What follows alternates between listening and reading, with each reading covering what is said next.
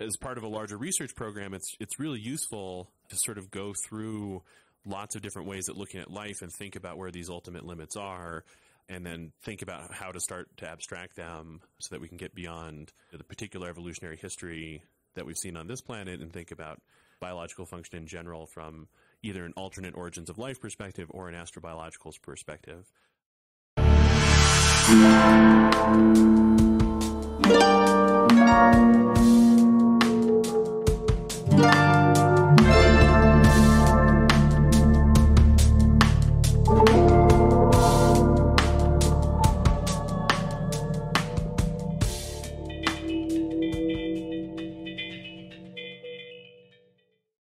Is the internal structure of bacteria so different from the architecture of a nucleated cell?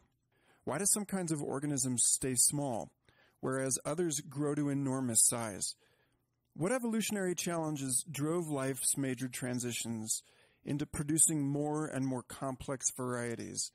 And what does studying these areas reveal about the changing landscape of our global economy?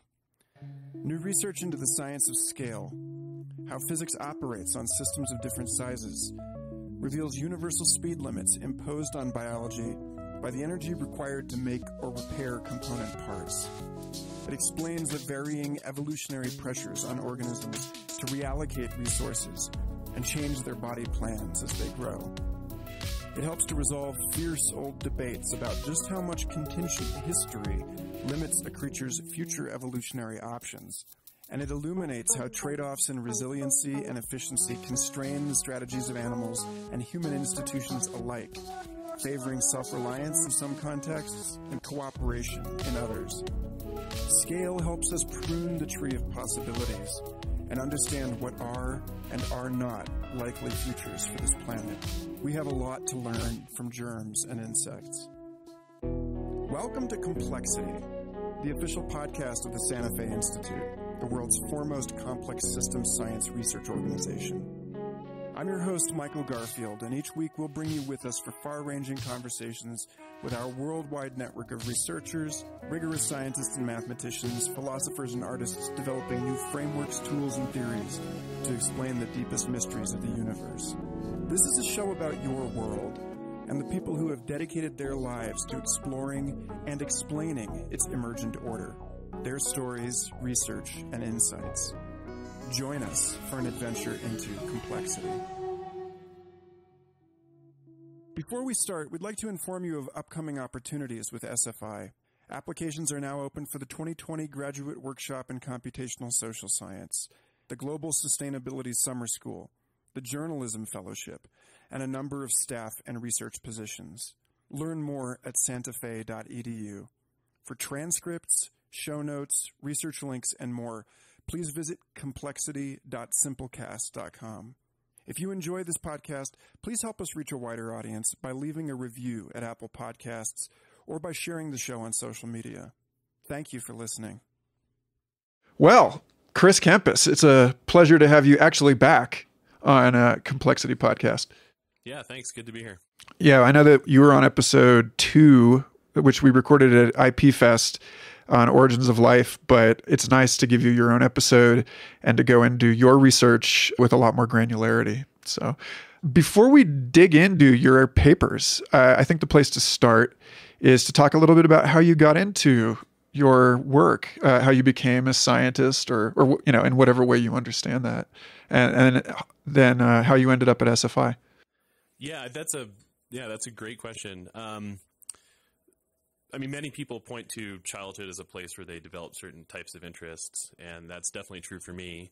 So, as a kid, I was fascinated by both astronomy and paleontology. So, I had this dual interest in in the stars and in fossils, um, and both are pretty strong. And I don't know, there's always this sense in society that people are, you know, picking something to do, or they have like one very specific thing that they that they want to do someday. And so, when people would ask me what's the thing you wanted to do, I had this conflict of like, well, how do I take these two things I really love? So then eventually I'd say I want to, you know, I want to be an astronomer and a paleontologist. um, and most people, most people really laughed at that. And uh, amazingly enough, that's sort of what I've done, you know, over my scientific career was is to combine biology and um, thinking about the history of life with questions of physics and um, astrobiology. And so, uh, if you sort of take paleontology plus astronomy, I think you get life in space and the history of life and how physics guides all of that. So I think those early interests very much um, have stayed with me over the years. And so now you're you're here and you're you're working with uh, an excellent team on scaling laws and, and so on. And so yeah, what drew you to SFI or like how did SFI select you? yes, that's it. That's another interesting question. So in undergrad, as I was still wrestling with this physics or biology question, um, I had done a lot of research in ecology while also majoring in physics. And so I sort of was looking for places where those two combined. And an early mentor pointed me towards a bunch of, you know, papers in scaling theory and how physics was influencing biology. And so I was hooked. I actually came to the Santa Fe Institute as an undergrad researcher a couple times during my undergrad career. Um, I spent a summer here. Uh, I did a, a month long independent study as, as part of my curriculum at a different time. And then that really started to inform the types of research I did um, thereafter. And so uh, my PhD was in physical biology, um, which is a program that we created at MIT focusing on how um, you could start to bring physics into different biological processes beyond simple things like protein folding, but really trying to get it at the macroscopic laws of biology. So um, things like scaling laws, combining that with evolutionary theory, and then the rest is, is sort of history after that. Yeah. Excellent. Well, okay, so uh, it seems like the place to start today is uh, with a 2012 PNAS paper that you lead authored on uh, growth, metabolic partitioning, and the size of microorganisms. So you did this with uh, Stephanie Dutkiewicz, am I saying that right? And and Michael Follows, and this is a piece comparing the the way that uh, various energetic processes in a cell are allocated to to growth and maintenance, and how that differs between uh, prokaryotic organisms and eukaryotic organisms. So, I'd like to have you start with a little bit about the background in the thinking that motivated this research, like why uh, you decided to go here, and then um, this is a particular area of sort of surprising and counterintuitive results. And then we can kind of dive into the details of this particular study. Yeah, that sounds great. So, you know, some of the some of the classic work done in scaling theory is really trying to understand how architecture relates to various types of functions primarily how it relates to metabolic functions and then how you can derive a bunch of other features from those metabolic functions. Um, so there's this strong architectural connection there. And so then if you think about it, you could say, well, as life, as you go down the scale of sort of size in life, you start to cross all these different architectural boundaries. So as you go to unicellular eukaryotes, obviously you're transitioning from a multicellular organism that may or may not have a vascular system to a unicellular organism, which definitely doesn't isn't part of a you know larger network of cells and in a vascular system is living as a free living cell in an environment, but still has some internal structure to it. Um, the mitochondria, the nucleus, um, various other internal membranes. And then as you go smaller, you cross over into bacteria, which lose a lot of the internal structure that you see um, in the unicellular eukaryotes. Um, now, I've told that story as sort of the size based way backwards, but that's actually the opposite of the evolutionary direction, which went from these simple bacterial cells to increasing um, complexity in architecture. So, anyway, so we see these shifts in architecture.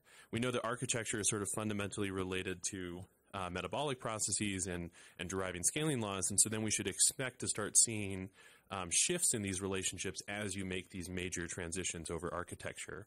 And there was some empirical work um, just before we did this paper um, showing that to be the case um, and putting forward a few hypotheses about what's shifting in the architecture. And then we said, well, what happens if we take that and start to build detailed energetic theories of single cell organisms in the same way that's been done for multicellular organisms to start trying to understand physiology and growth um, in connection to these, these shifts in scaling relationships driven by shifts in architecture. So, starting with the per unit cost thing about bio, biosynthesis and maintenance. being conserved and linear across all these different groups, right? So, so what is the one thing? Go into a little bit of detail about this, please. About the one thing that all of these different organisms have in common, and then how you were able to use that to start to investigate the differences and the the basis for those differences. Because uh, you know that's, I think uh, that's yeah, that seems like a great place to start. Yeah, I mean, I think one of the really amazing things that we saw was how much energy it takes to maintain or repair an existing unit of material in an organism. It appears to be roughly constant across all of life. I mean, there's a lot of there's a huge amount of variation in that, but but there aren't systematic trends with size, for example. So this says that to keep a unit of bacterial mass alive um, in terms of repairing it and, and, maintaining its existence is roughly the same as keeping a unit of mass in a, in a mammal alive. Um, and so that's we thought that was really interesting that there, isn't an architectural shift there. Um, and then a lot of the biosynthetic terms, so how much energy it takes to manufacture a new unit of mass, also appear to be roughly constant across all these different classes of organisms. Again, that's a, you know a slight simplification of of some significant variation that's there. And so if you take these two things together, then once you have these differences in how metabolic rate changes with size, uh, those constants and this changing metabolic rate with size lead to these really different behaviors in the growth rate because that overall metabolism has to be broken down or partitioned into the energy you need to repair and, and keep existing biomass alive and the energy you can use then to synthesize new biomass. And so if as you get bigger, you get more metabolic power per unit mass, then you can grow faster and faster as you get larger. And that's what you see in bacteria. Um, if as you get bigger, you have less metabolism per unit mass, like in mammals, then eventually your growth rate has to slow down and you stop growing in size. And so, contrasting bacteria to mammals, bac- bacteria have this ever increasing, accelerating growth rate over their lifespan. Mammals have this decelerating life, you know, growth rate that eventually leads to a fixed adult size, um, like most humans have, for example. So this is uh, butting up against the episode that we did with Melanie Moses on on scaling. Um, in the question of why is it that you see if uh, why is it that you see this upper bound on the size of bacteria? Like there's there's a point at which it, it, the the metabolic rate required to grow that thing just becomes unsustainable, right? So that's the that's the transition uh, that like Lynn Margulis and other people are talking about uh, an endosymbiotic transition. So how does how does the architecture of a nucleated complex cell enable this, and and why does that lead to an inversion of this power law in the way that these these uh, like metabolism and maintenance are allocated in a cell? Yeah, question. So we we had exactly that same puzzle after finishing this first paper that we were just talking about. So, as bacteria get bigger, they have more and more metabolic power per unit mass. They have faster and faster growth rates. All of that's gr- all of that's what you want. so, so if you can grow faster than other organisms, you can outcompete them. These all seem like good things to have. And so our question was, well, why don't the bacteria continue to get bigger forever? Right? Their architecture seems to favor this um, ever accelerating growth rate that in certain environments is really advantageous. You can outcompete slower growing things if there's enough resources around. Um, and so we sort of hypothesized in this paper that it must be something about some piece of the physiology not being able to keep up with those increasing metabolic rates. So it's actually not a metabolic problem that the largest bacteria run into. It, it's likely some sort of physiological problem where some basic biochemical rate or process simply can't keep up with, with the energy harvesting capacity of these organisms. Um, and so, in a follow up paper, looking at the composition um, of bacteria in terms of the main physiological features they have, so how much protein do they have? Um, how many ribosomes do they have, which is really are, are, these machines that basically translate the stored information about what a cell is in the genome to the actual function functional proteins of the cell. How many of those do they have?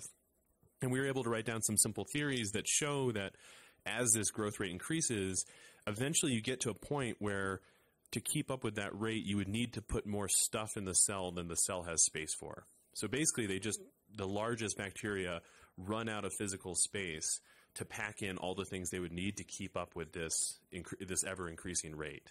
I mean, so it's sort of like if you had this huge power source, how many components would you need to you know to use that power efficiently? Eventually, um, that exceeds uh, how you know the space at which those can be packed into, and so that's that's what we think happens to bacteria is that they grow too quickly. They run out of the fundamental space for all the components they need to keep up with that fast growth rate. Um, and then there's something about the eukaryotic architecture that helps fix that.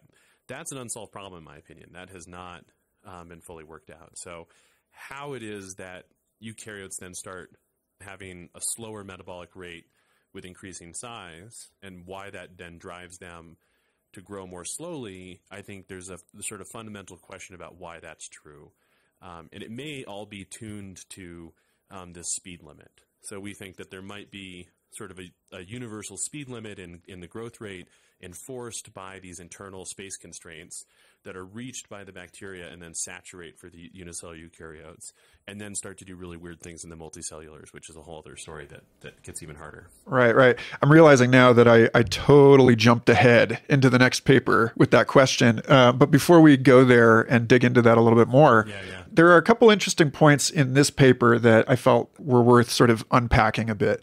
And one of them is about uh, the reproductive strategies in eukaryotes, and specifically, you look at the budding yeast C. albicans, which you know rather than just standard fission is doing this this budding thing and its growth rates are then sort of reallocated at different points between the growth of the mother cell and the you know the budding cells and you make an interesting point in here that the growth of the buds, quote, uh, can be predicted by assuming that the bud is using all of the growth energy of the entire complex and that buds grow more rapidly because of the assistance of the entire complex rather than if these are growing in, in isolation. So, this is again a spot where you're starting to get into questions of the incentives for multicellularity.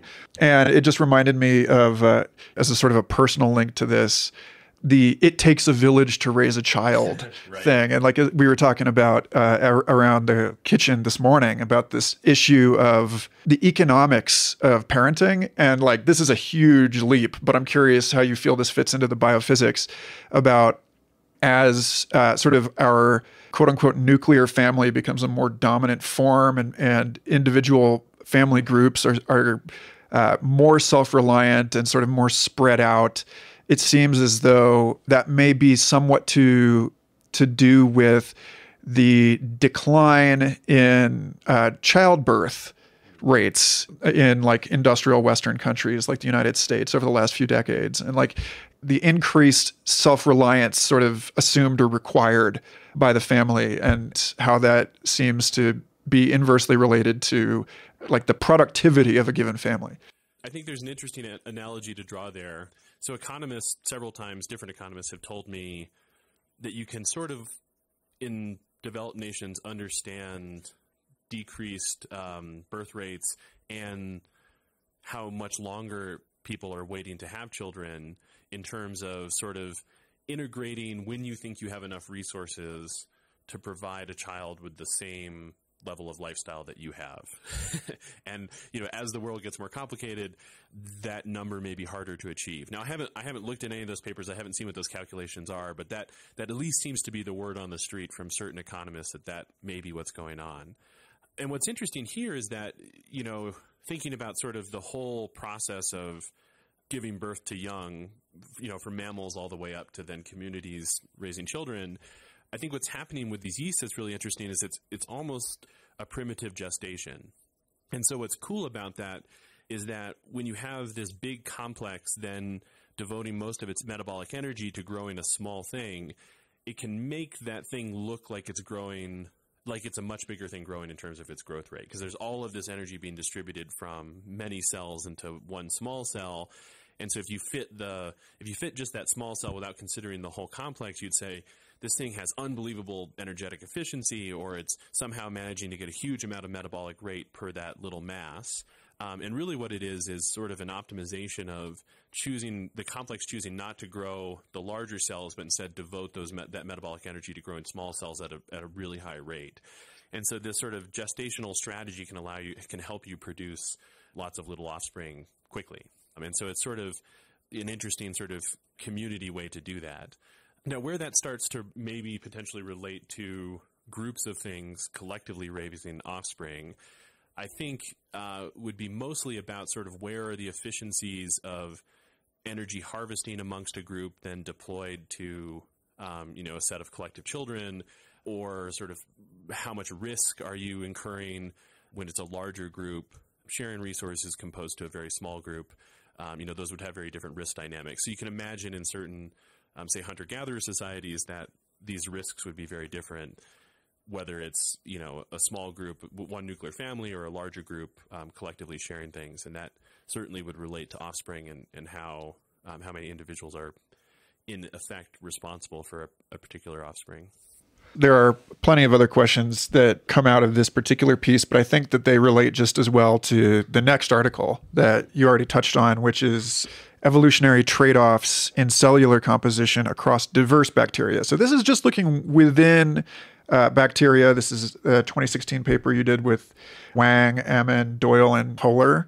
So, this piece, like you said, this is about the way that different pieces of bacterial architecture scale as the whole thing gets bigger. And I think it's worth starting with this, actually, starting at the end with this puzzle that you're left with, which is that even though, like you said a moment ago, the growth rate scales super linearly with the size of the bacterium, all of these components are scaling sublinearly. All of these components are scaling uh, slower. And so something funny is going on here that leads to this emergent thing happening here. And I'm curious, you know, this is this is sort of maybe like leading the the horse with the cart. But what is this? Why is this happening? It's not really a question you answer in this paper, but I mean, you've had plenty of time to think about it.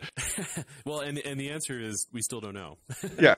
There's some follow-up work that we're doing now where we're trying to do certain types of sort of global optimizations of the physiology to understand what how all of these different components are related to each other. So one thing we can say really nicely from this paper is if you take so, so the ribosome, which again is this this little machine um, that basically takes uh, these little tapes, little transcripts from the DNA, and turns those into functional proteins. So its job is, you know, to read these tapes and, and produce proteins. Some of those proteins make itself up, so it's also sort of self-replicating itself. If you say we know how fast a cell is growing, and we know how many proteins it has to replicate um, in order to divide, then we have a really nice theory for how many ribosomes the cell needs. And so we take our theory for growth rate and we combine it with observations of how the number of proteins changes across cell size, and then we can predict how many of these little ribosomal machines you actually need in a cell. And that then does a very good job of predicting observed data. And it says that for most most cell sizes, uh, most of the range of cell sizes, you have this sublinear scaling in the number of ribosomes. So as the cell's getting bigger, the ribosomes are sort of diluting out until you start to get towards really large cell sizes where the growth rates continue to go up.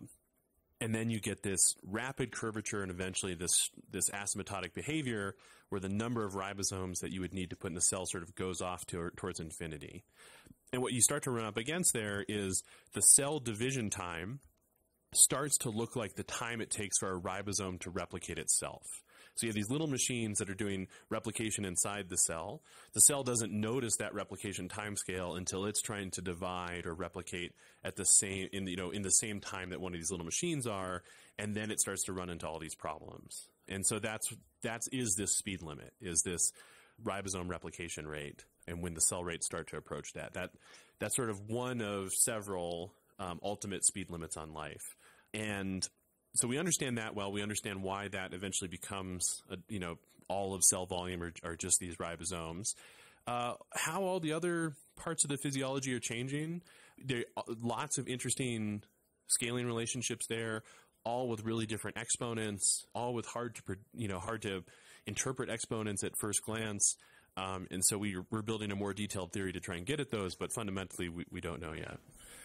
So you just explain in detail what you call in the paper the ribosome catastrophe. So this is this sort of larger class of what you know the error catastrophe I learned about in college and actually is what got me into complexity thinking in the first place was this paper co-authored by Martin Nowak and, and now SFI president David Krakauer on the evolution of syntax and language. And, you know, so I think there's there's a really interesting generalization that I think can be made from this math that gets into uh, I want I want to see if you feel like I'm making the analogy correctly that uh, the DNA of a given bacterium is is sort of like the memory of an individual person, and then the ribosomal volume is sort of like the amount of words required to communicate that are like uh, evolutionarily relevant in in a in a given language. I mean, again, that's that's a little messy because it's not exactly inter- intercellular signaling, but there is this sense at which, uh, as as Nowak and, and Krakauer mentioned in their work, uh, that you reach a point where the burden on memory to remember every word you need to in order to get along in the world is un- unfeasible, and you start getting uh, copying errors, and you fail to communicate, and so that's the point at which that that seems to be the point at which you start getting syntax and language the way that you're getting uh, complexity of eukaryotic cell that it that there's you know a new syntactic architecture emerges to cope with the the informational requirements of this. I mean is that i mean that's again that's a little rough but yeah no i, I think i think there's some really interesting interconnections there so i think you know on on this sort of end of the ribosome using this language analogy i think what you would say is that there's a you know there's a storage system of of the words that you could speak, and then spoken words have utility, and then there's this process in between that allows you to go from the words that you could speak to um, actually be actually vocalizing those words, right? And that takes there's some computational effort there that's required. So you have to, um, in this case, transcribe and translate the copied word to the spoken word, and there's a little device, this ribosome, that does that. Um, and so if you think about the organism's pressure is all at speaking words, right? So having the spoken words out in the world where they actually have utility, then yeah, the one of the constraints for cells is how fast this internal machine can actually speak, right? How fast it can transcribe, transcribe and then translate um, as a system, and eventually, sort of the rate at which you would need utility from words exceeds exceeds that speaking capacity. And so I think that I think that is another sort of limit. But uh, yeah, I mean, I think in this space there are lots of really interesting biological limits. The error catastrophe is certain one, certainly one. Um, this ribosomal catastrophe is one, and I think as part of a larger research program, it's it's really useful to sort of go through lots of different ways at looking at life and think about where these ultimate limits are and then think about how to start to abstract them um, so that we can get beyond you know, the particular evolutionary history that we've seen on this planet and think about biological function in general from either an alternate origins of life perspective or an astrobiological perspective. And that's actually something that David Krakauer and I have been, have been thinking about and writing about a lot recently.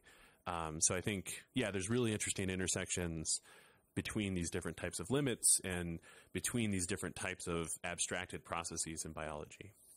So, to sort of verge on the astrobiological question, uh, one of the things that you you mentioned earlier is that there is this this sort of cup shape in the fraction of the dry volume of the cell that's taken up by ribosomal material, and so you end up with you know you know what is uh, in the sort of middle zone that you know what is what is taking up the volume of the cell if not dry volume. And uh, you, you, talk like uh, in a lot of cases it's water, right? So it's you know as a sort of right-brained artist type, I was like, oh, that's kind of funny because the graph you know looks as though it's like holding like a, a vessel for that this kind of thing. So if only we'd thought to say that in the paper. you start to uh, speculate here on the evolutionary benefits of less of the cell being taken up by stuff and more of it being available for for fluids and i'm curious to hear about this and then how this links to why you're going to find cells of different sizes occupying different niches and in different environments and then how that might uh, yield uh, some predictions about where you're going to find very small cells, where you're going to find very large cells, and so on. Yeah, I think. I mean, I think that's fascinating. So one of one of the things we've been thinking very hard about is is this water a requirement, right? And so part of what having an increasing amount of water to all these different molecules does for you is change the sort of effective diffusivities. So how fast, you know, how fast something can diffuse in the cell depends a lot on sort of what the concentration of things in water are, because that will adjust how likely you are to bump into another molecule or um, have sort of a, a short time scale, weak bonding um, event with another molecule. And so we so we think actually we might be able to to predict how much water you need. Um, thinking about these diffusive constraints, so you know that's that's part of this this kind of upcoming work um, that we've been going through is is getting at that. Now, to your question about different niches and where these different organisms might live, you know, we in this paper were slightly wrong about a pretty strong prediction we made, which was saying, okay, what will all the smallest cells look like? Another way to think about that is, what does a cell have to do to get very small? Well, it needs to have less proteins expressed inside the cell. It needs to have a smaller genome, all these sorts of things. So, so how do you start to reduce a genome? How do you start to get rid of genes and the need for certain expressed proteins? Well, a lot of genes are kept around for dealing with lots of different types of environments, um, having lots of different metabolic options available to you, and so forth.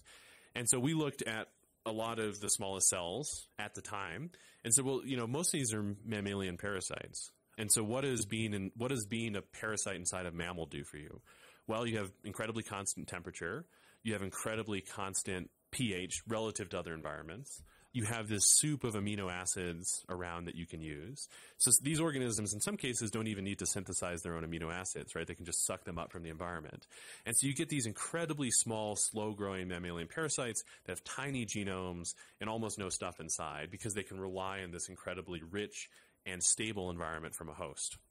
Cool. So we, so I at the time would have said I expect all the smallest cells in the future to be sort of parasitic organisms that you see. A few years later, Jill Banfield's group discovered the new world record holding smallest set of bacteria. And they're all groundwater microbes. so they discovered them in this groundwater system. Not in some not in another organism, not parasitic, you know, not not stable.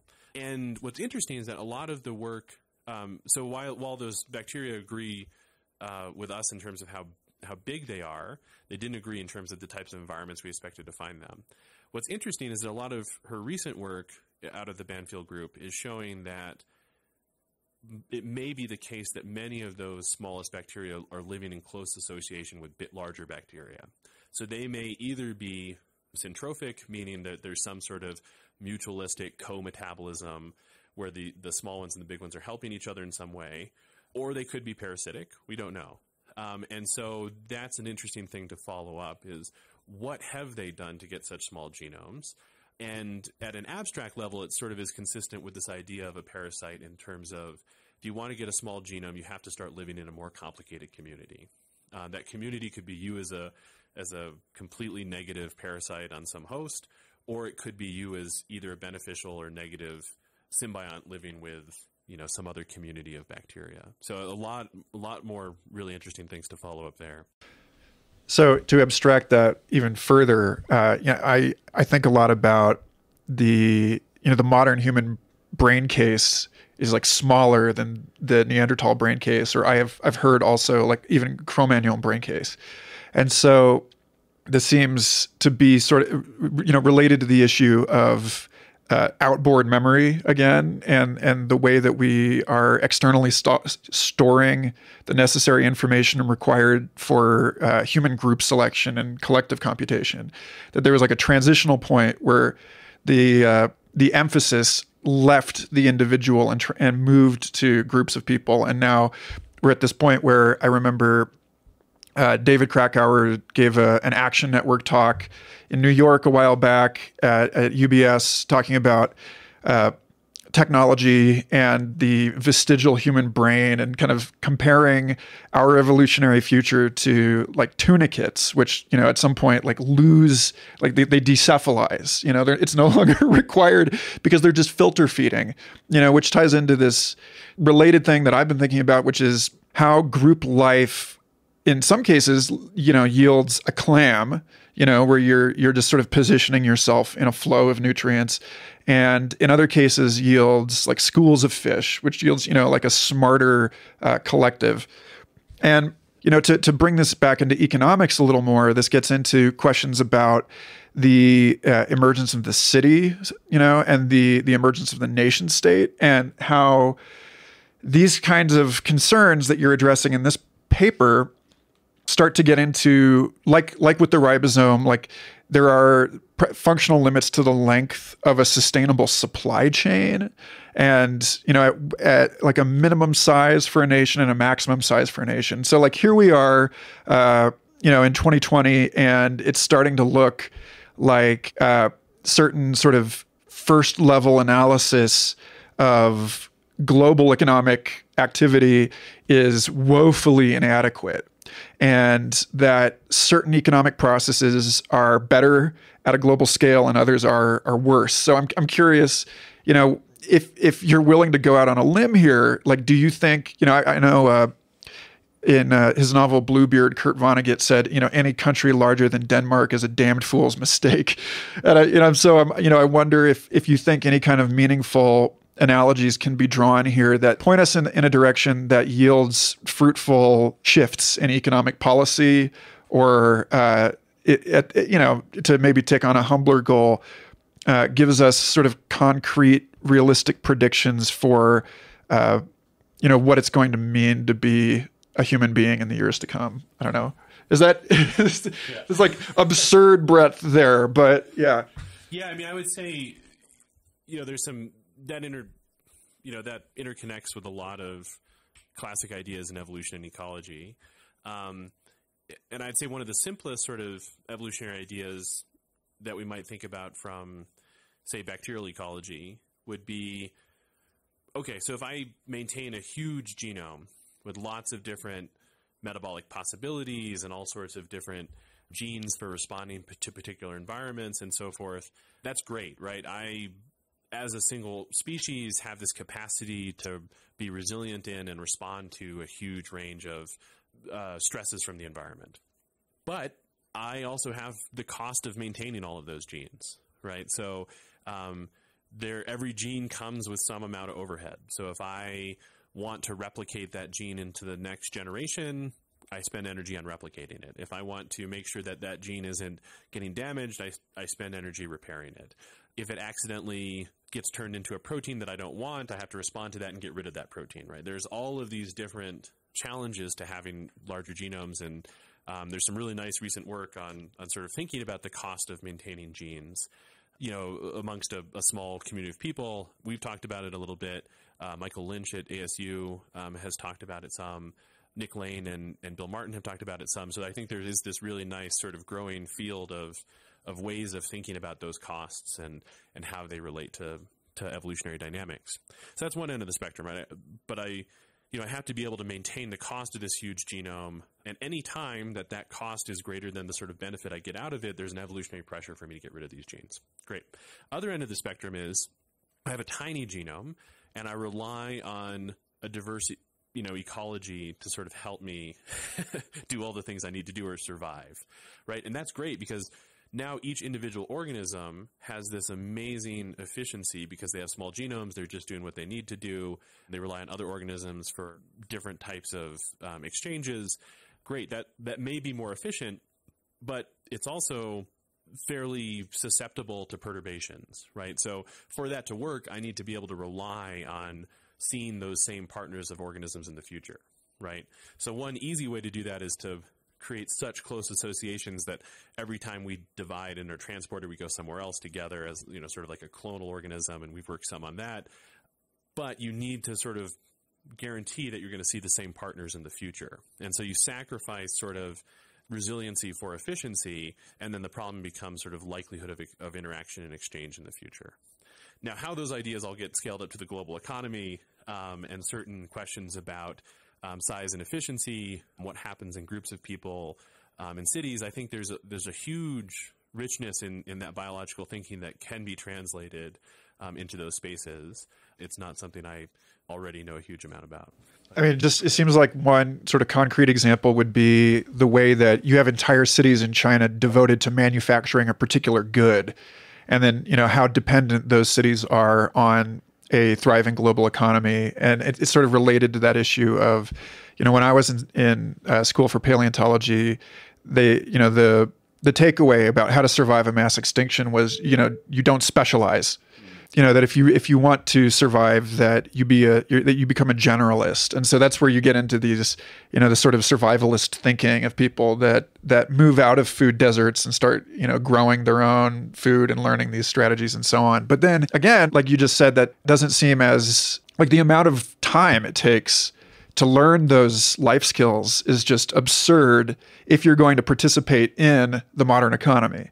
And so, you know, this work all sort of points to uh, a kind of like generalized balance between at what at what scale are you are you going to uh, operate you know like obviously uh, a mennonite community is more resilient to global economic shutdown but um, less you know less capable of producing something that is of value to that and then you know less capable of individually specializing and in some weird sort of uh, in, you know in the sense of like uh, like Maslow self-actualization like I mean I got to be careful here but it does seem like we are empowered to pursue hyper specialization uh, by the same uh, biophysical constraints that uh, make this planet more and more susceptible to perturbations. And you know, like we talked about that with Matt Jackson in terms of uh, hyperconnected bank networks and like cascading failures and so on. So,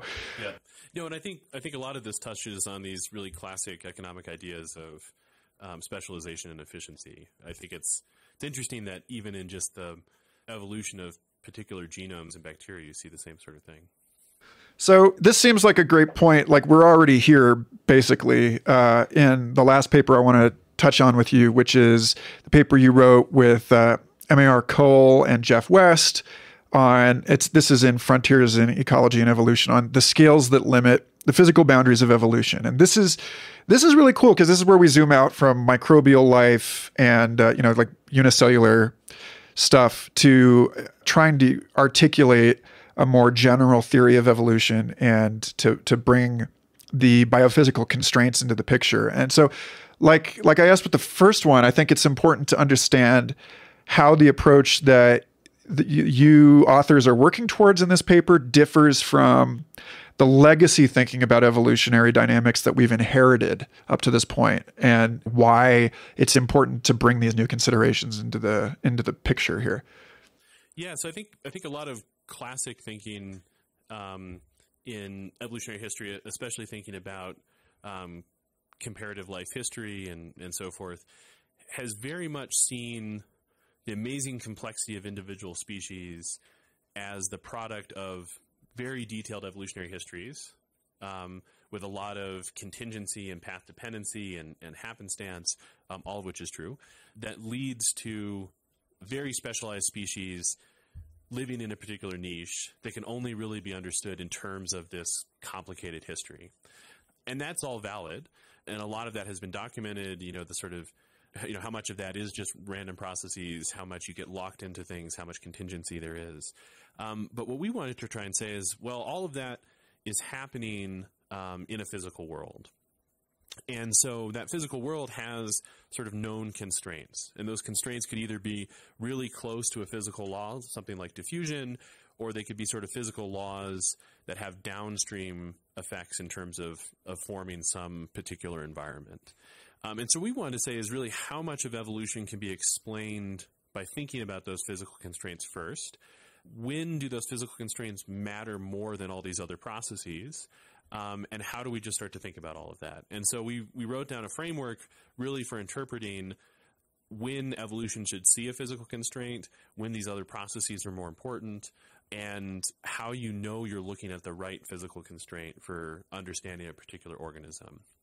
And so scaling laws are a great example. So why, you know, why do you see a scaling law across all organisms of vastly different size? A lot of the work coming out of, you know, the scaling world is really saying, and, and what we really try and argue in this paper is that you see those scaling laws when there's a dominant physical constraint that applies to organisms of vastly um, different size. And that constraint matters enough uh, compared to other processes that it shows up in evolution or that constraint is independent enough of all the other processes that it shows up um, in evolution.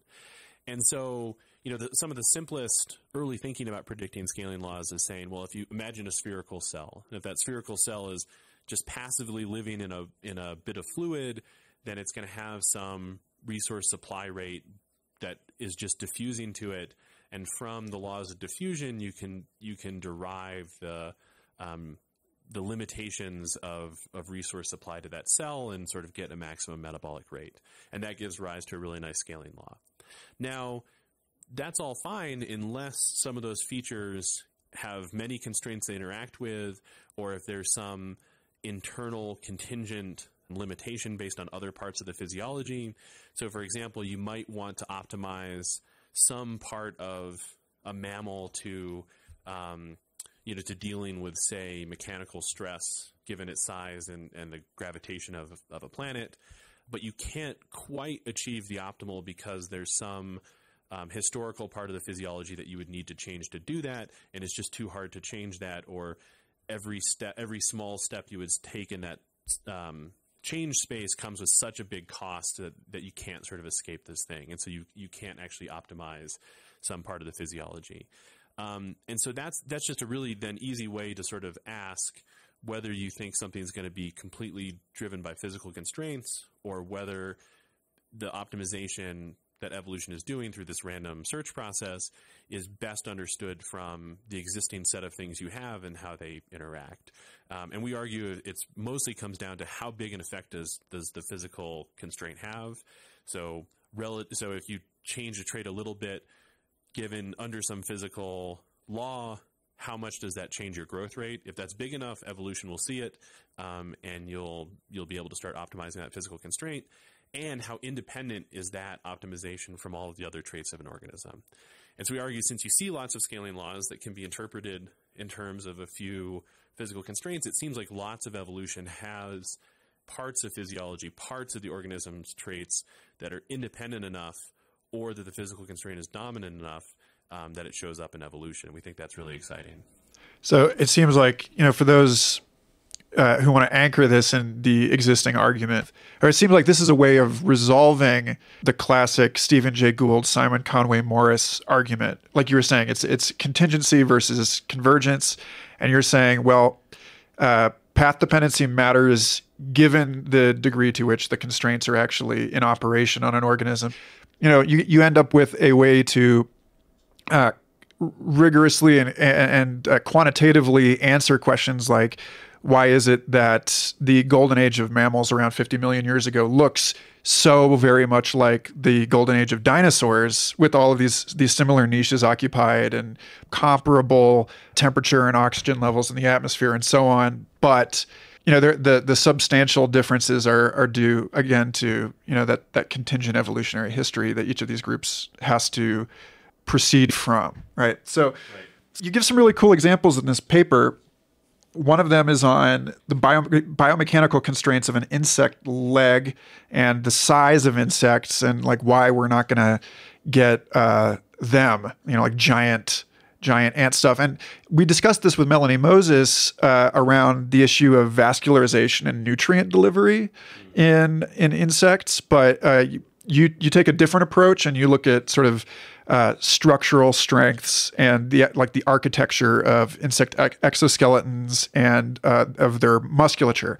So I'd love to hear you uh, unpack that a little bit because this was, yeah, this is a really a really cool consideration when you're looking at like something like a Hercules beetle and you're like, damn, that's a big thing, but it's not going to get any bigger. And why? Yeah, so so Mimi Koehl um, did a lot of this work, uh, almost all of this work for this paper, um, in terms of thinking about these biophysical constraints in insects. And so, from a from a very top level, what I would say is, and we had a lot of conversations about this as a group internally, is that part of this is where the contingency does come into play, right? So once you're committed to a particular body plan or a particular uh, set of structures um, or physiological traits, biomechanical traits, then then the optimizations occur. The evolutionary optimizations, again, random process over time. That's how the optimization is happening. Those occur contingent on having a particular structure or body plan, um, and so the constraints that are going to be optimized for an exoskeleton um, and the types of things you have to put into your evolutionary optimization problem there are, is very different than an endoskeleton, right? So if you have an, an internal uh, skeleton like mammals, you're going to face sort of different optimization challenges than if you have uh, an exoskeleton. And so I think that's a lot of what we wanted to think through. And so that's actually where some of the contingency comes through is that you have to condition on knowing a particular structure of an organism the one example that I, I really appreciated was that you know molting seems to limit the size of arthropods because everything has to reattach, and so there's there's like a, a, vulnerable phase there. Yeah, I th- and I thought that was one of the most interesting examples, right? That that because of this need to molt to get larger, you enter a phase of extreme predation risk relative to to pre-molt. You know that then starts to interface with a bunch of, of niche considerations, behavioral strategies, right? Do you hide just after you've molted? Um, you know, how do you deal with some of those those challenges? And so I think, you know, on one end of the spectrum, this is where we have, you know, this purely biophysical perspective. And on the other hand, you have to think about sort of the richness of interacting features. And that's really what we are trying to get after in this paper is how do you do both, right? How do you start to separate out the purely biophysical optimizations you do for an organism, and then all of these other rich considerations about behavior and niche and evolutionary history and and so forth. So I think the the molting is a nice example of that. So just to get into the like speculative biology here, some of these constraints lead to uh, the transition point at which you start to see sociality in, in insects, and then similarly, uh, different constraints seem to lead to sociality in uh, endoskeletal vertebrate organisms, and you get a breakdown where it goes from you know a quote unquote like solid brain as a computational entity to a liquid brain. I'm curious what constraints would have to be lifted mechanically in order to offer a much much larger individual organism than anything that we see on the planet today. And then in terms of design, you know, bioengineering new forms of life, you know, for other worlds. I mean, obviously gravity is a constraint, available free energy is a constraint, but like what within the organism itself do you see as something that could be changed on Earth's surface to yield like a Godzilla type creature, you know, something that's vastly larger than anything we see in the fossil record or alive today? Yeah, so I, many answers to that. Um, I mean, changing gravity is the the cop out. Um, it's true, but you know that's sort of the easy one. Um, choosing to put everything in a liquid medium is another thing you could do to make really large organisms, and you know we do see. Yes, so that that would be one possibility. But I think from this sort of this more general question of okay, if you if you wanted something with a particular function of endlessly increasing size or as big as you know covering a planet or something like that, you know what are the challenges? So if you wanted some sort of brain spanning an entire planet. What are the challenges there? I mean, I think a lot of the you know principles that start to come out in thinking about that are questions of transport, right? So just exchange. So if you have lots of individual components doing simple computations, how do you wire all those together? Melanie Moses has done a lot of work on that and thinking about um, chip architecture and you know certain scaling laws there. So that certainly becomes a challenge in, in terms of how do you wire all these things together? How do you get information from A to B and at what time scale? So then there's a rate question for the overall system, and then there's there's an energy flux question. And so I think, you know, there are calculable sort of questions about what would be the maximum number of bits you could what you know what's the what's the maximum computation rate of a planetary surface given solar flux, right? I think that's that's a calculable thing um, if you make some some assumptions about different types of architecture and then start to work through the kind of um, exchange problems and so forth. Now, maybe not if in terms of how complicated you know the algorithms would need to be, or you know there might be a whole um, algorithms combined with architecture optimization there that uh, I don't know if there's an answer to.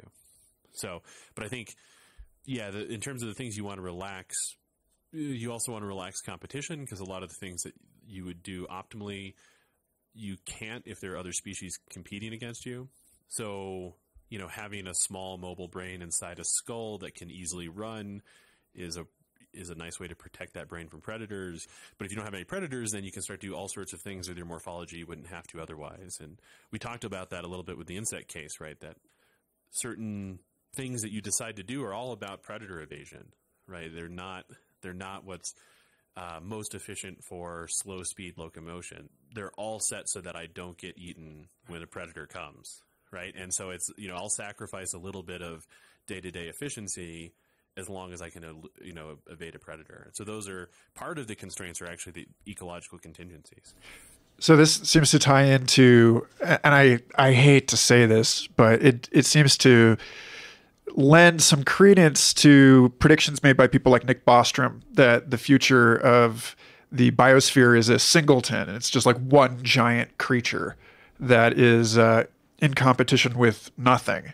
I mean, that's that's been a, a prognostication of various troubled legacies of evolutionary thinkers like Teilhard de Chardin for decades. But it sounds like you think that may hold some water. I don't know. Um, I mean, a, a few counterpoints to that. One would be I think it's a it's a possible evolutionary endpoint. I would say the challenge of exterminating all bacteria uh, is daunting, right? I mean the the number of environments you find bacteria living in, how deep in the subsurface active bacteria are found, how long that seems to have been going from lots of recent cores people have done of you know finding all sorts of different fossils uh, microbial fossils, you know, I, I would say they're likely to always be around. You know, the task of getting rid of all bacteria is, to me, almost seems impossible. So whether that's bacteria and a singleton, you know, that, that to me seems like a more likely endpoint than just, just a singleton. Also, getting to a singleton, I just don't know how stable certain trajectories towards that actually are, right? So, um, you know, I, I don't know how stable a species like ours is, right, in terms of all the hurdles that would need to be overcome to go that direction, all of the various ethical and aesthetic considerations we might make in the future about what kind of ecology we want, um, you know, may that may not necessarily be um, the endpoint, and and also, yeah, you have to always think about anytime you have a singleton, what's the what's the likelihood of something invading, um, and if a singleton goes for a long time without competitors, it may start to optimize itself for efficiency in ways that make it very susceptible to invaders. And then the question is just, is there an invader? You know, is there another species around that can start to invade in that niche? Um, and that that is likely to be true, especially if there's you know a huge seed population of bacteria around. Or um, yeah, so I think I don't know how how either likely or stable a singleton is. Um, I see lots of problems for it, but yeah to wrap that back around to the the earlier pieces of this conversation, it it, it seems as though really like a, a singleton would presuppose or evoke the same kind of challenges that you get into with these limits to cell size, and that you you know, it may be that what we're talking about is not some sort of hypothetical future, but actually the again the the viability of a global economy and and why it seems like we're under such pressure now simultaneously to try and and integrate all of these different local economies at the same time that we are casting our glance to other worlds, you know, to invoke again the you know interplanetary festival thing. Maybe the answer is uh, multicellularity, and that you know it's not that really you know this kind of thing isn't isn't feasible. Uh, like you know, like you said, it's it's too complicated it's too vulnerable, you know, without the competition. It, yeah. Anyway, Yeah, and I think I mean I think the other thing to point out there too that's that's really interesting is that many of the evolutionary transitions that we've seen haven't eliminated the life that they evolved from, which is really you know so bacteria and archaea become you know so eukaryotes. They aren't then outcompeted by unicellular eukaryotes, right? And in the same size ranges, because they do have some overlap in size, they live in you know they can live in the same environments. You know, there's there's coexist and you know there's coexistence of these these very diverse things. Multicellulars don't outcompete the unicellulars. You know, you get a coexistence, and so I think that's a it's a really interesting thing that even with these radical shifts in architecture and huge transitions in evolution, they don't then exclude everything that came before in some cases. So we are the microbiome of civilization. That's like roughly speaking, yeah. Well, okay, so so uh, thanks for indulging all that. Uh, what's what's uh, next for you? Like, wh- where is this research taking you now, and what are you working on? Yeah, I mean, I'd say sort of a few main directions. One is as we start to understand these different physical constraints and, and what they mean for for organisms and um, scaling laws, how much can we start to then generalize or abstract that to think about life that's not like the one we already have?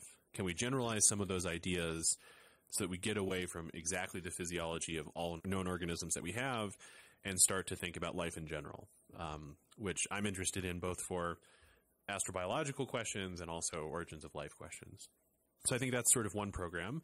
Another program is is really thinking about continuing to connect biophysics and evolution together. Mean, so there's lots of people now starting to work on this in lots of interesting ways. There's you know a really interesting classic literature on all of this, and so I think that's another you know really interesting direction to go is to say you know we have this huge body of evolutionary theory.